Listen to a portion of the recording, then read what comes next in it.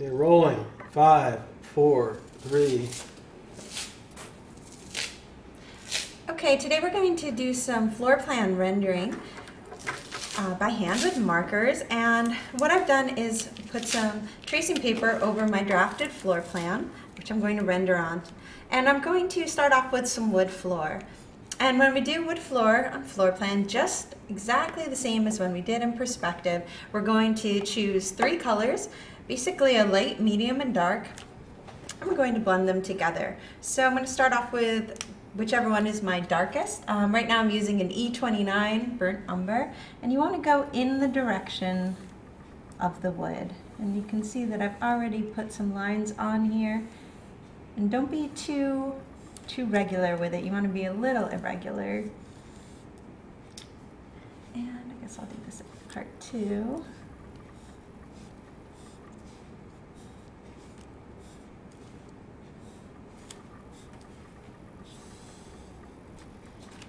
Switch to my next color, which is E59 Walnut, which is a great color that I use all the time.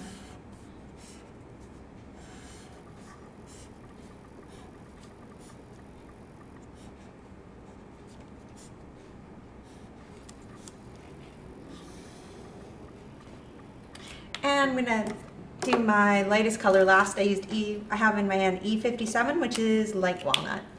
Gonna use this one to fill in any spaces I haven't done yet and kind of blend things a little bit too. Anywhere I have little spots like that, you can just go in and blend.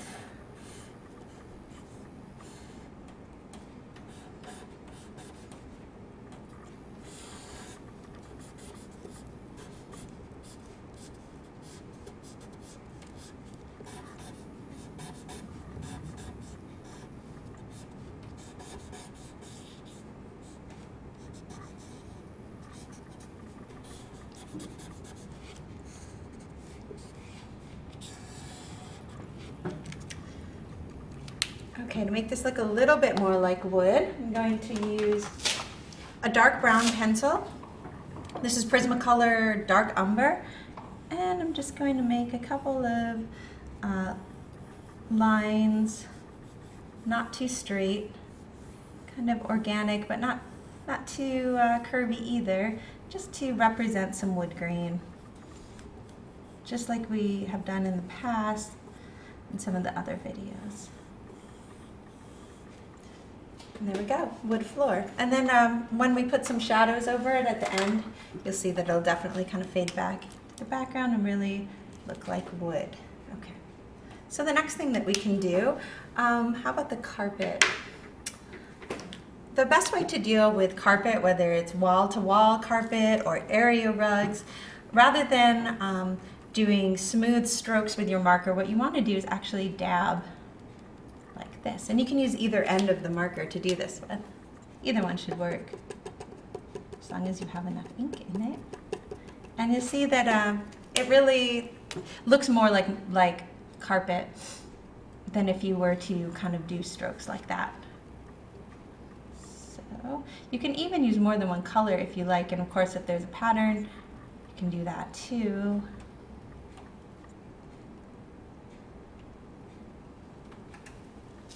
Etc., etc.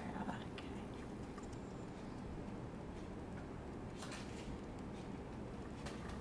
We'll just do that for now. I guess I can't leave it unfinished. Here we go. Okay. Next thing I wanted to do was uh, take a look at doing some of the glass. If um, we take a look in the kitchen, I've got a couple of bar stools over here. Um, I'm going to Let's try making these. That's too much of the wood color.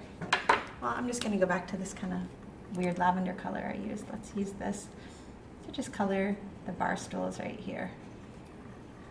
And you can see that um, this part is supposed to be glass right here. So I'm going to take my B91, which is pale, let's see, pale grayish blue. And what we want to do is have some stripes of the blue. Blue isn't showing up very much, so I'm going to grab um, a little bit of a dark blue. I'm going to have to blend it That's gonna be way too dark. That's okay, because I'm using marker. I'm using, I'm sorry, tracing paper, so I can still blend with it. There we go. And the trick with doing glass is you want to leave um, some stripes, some reflections in the glass, and you want those to be different widths from each other and different spaces between them so it doesn't start to look like stripe. So for example, um, let's do this coffee table as well as if that was glass. And um, I'm gonna put down some blue right here and then pick that up with my lighter blue since it wasn't really showing up before. I'll just do a little blending. So about like that. And then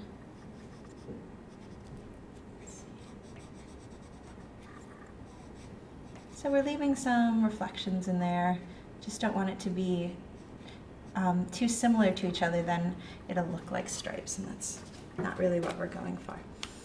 Okay, so speaking of shadows, we can go ahead and add some shadows now. Normally I would add shadows to, well sometimes I do it on the back, sometimes I do it on the front. It kind of depends. Let's start with, let's start with our little floor pillows that we've got over there. I'm going to use a warm gray 6 um, because this is a warm color, that, that kind of lavender is warm. So I'm gonna add like that. I think I'm gonna add a little bit of blue to my shadows as well. I'm, gonna, I'm using uh, B99. I'm gonna add a little bit of blue in. That's way too strong of a blue, but I'm gonna go back in and blend it again.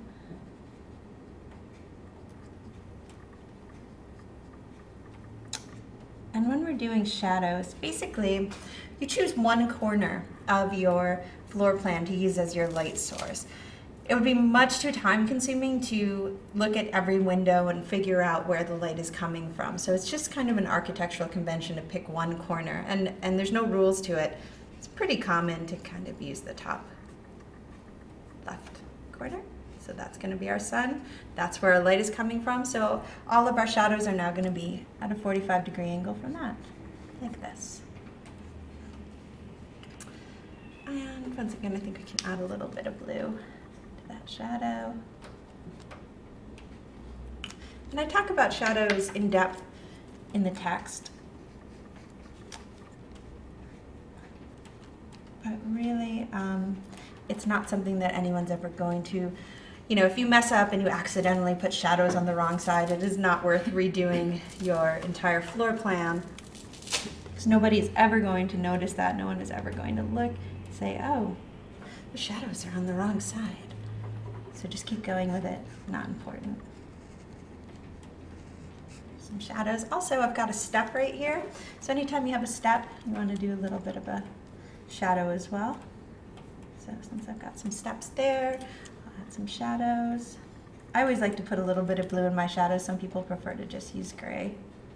I especially like to put blue in the shadow if uh, if it's a floor plan that is very monochromatic, because it does some, you know, add some life and color to the drawing, which is something we're trying to do all the time. So I'm going to add a shadow also right here, and also from all of these little pillows. These are all some shadows. Some blue. Go back in and blend those.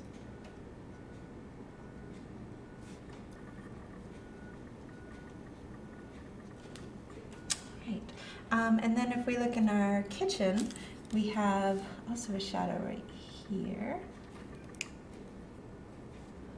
and here. Additionally, one underneath the bar stools, and since that's glass and we're seeing through it, it's transparent, so we still want to see what's going on underneath it.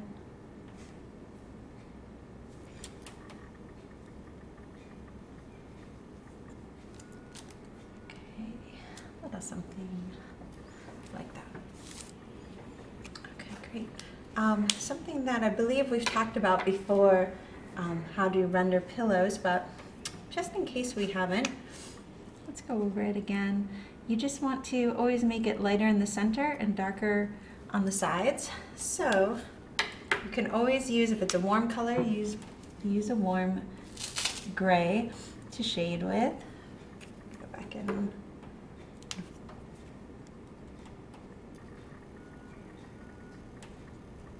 And you just want to keep them lighter in the center.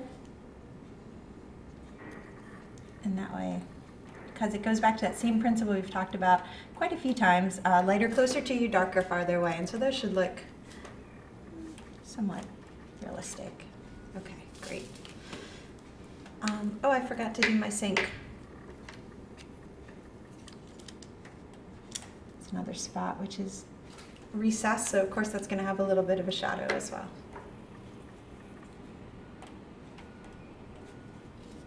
Okay. Great. So the next thing that I want to do is I want to talk about, oh, let's do some, let's do some natural stone. Um, and I've got a couple areas I wanted to work with. One of them is over here in the bathroom. So if I wanted this to look like, let's say slate, um, if you want it to look like any kind of natural stone, get some different colors that represent uh, your stone and then you want to kind of um, blob them in without being too careful about it.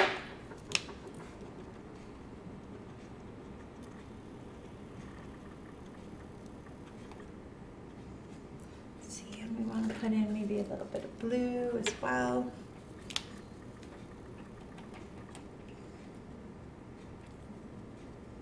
But you definitely want to do that same dabbing motion like we did earlier on the carpet. If you do anything too regular, it's going to end up looking, well, either like carpet or like linoleum, something kind of mass produced, which is not what we want. Okay, and then we can go in and add a couple shadows right there, right there. And blend those.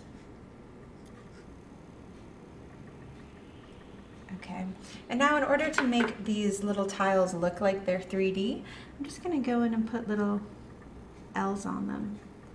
So just pick one side, you know, two sides, I'm doing the left side and the top of each square. It's very quick and it really makes them jump out and be very 3D. You can also do this trick in elevations for backsplashes. You can do it in perspective as well.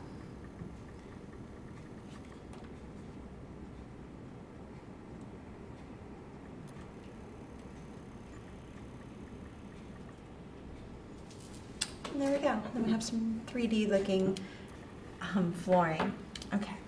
Um, the very last thing that I do when it comes to both the wood floor and also um, and also the tile floor is to add the the planks with a black pen and to add the grout lines with um, either a black pencil or pen or white pencil too sometimes works. So, let's see. Go. Definitely want to do it last so it doesn't get all messed up.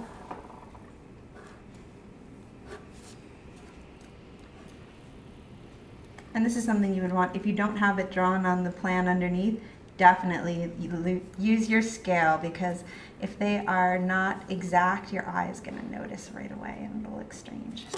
So same thing over here. I'm not going to do them all, but we'll do a couple.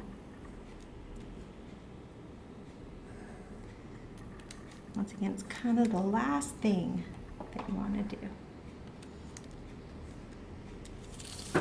Okay, great.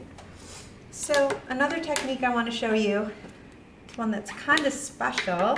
Um, what we're going to be doing is actually painting with the markers. And I'm going to use some of this. This is um, the Copic Colorless Blender Medium. This is what goes inside the colorless blenders, which you can buy in a bottle. Um, additionally, you could use 97% uh, alcohol from the drugstore, which is about 99 cents, um, and that will work with any alcohol-based markers like Copics and Prismacolors. If you're using xylene-based markers, you can actually use lighter fluid to paint with go. I'm just going to pour some in a little cup right here. What I'm going to do is try and replicate marble.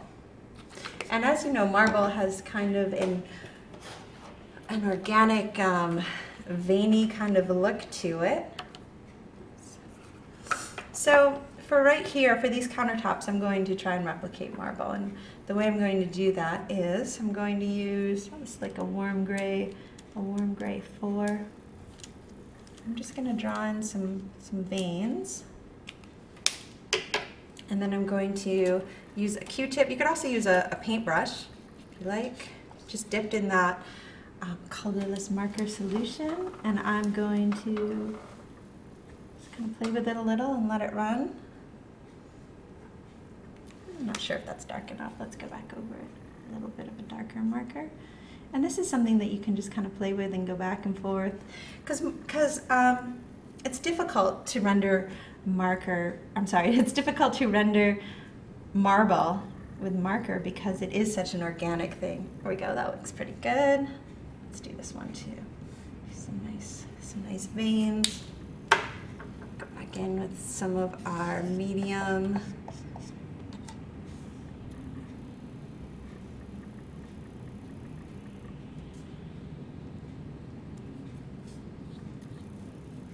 And you can just just play with it. Just go back and forth with your marker and your medium just trying to make it look make it all happen naturally and organically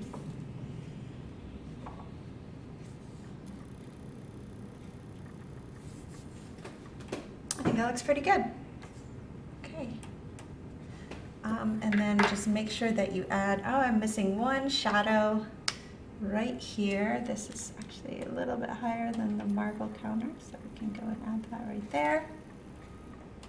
And then I think that we're done.